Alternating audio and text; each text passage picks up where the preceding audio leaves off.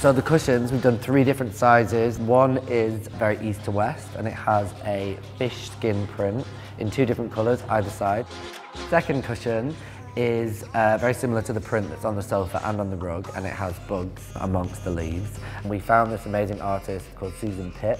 She was quite well known in the 70s and the 80s in New York and she's done a lot of animation films and she created the bugs for us which we incorporated into our print. Third cushion is supersized and it has the animal print on one side with a huge embroidered psychedelic bug and on the reverse it has one of the psychedelic interiors prints which was inspired by the film Fear and Loathing in Las Vegas.